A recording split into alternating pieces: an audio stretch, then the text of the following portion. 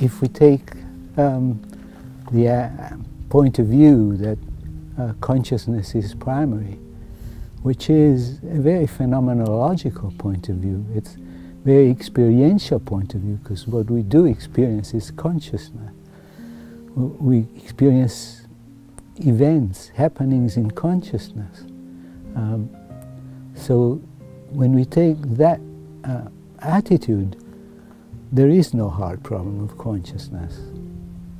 Um, and we are actually confronted with the fact that um, what we, that we create the notion of matter out of a basic fact, which is that consciousness is structured.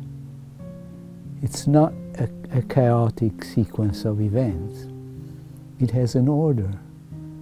And a, a key aspect of that order is what we call matter.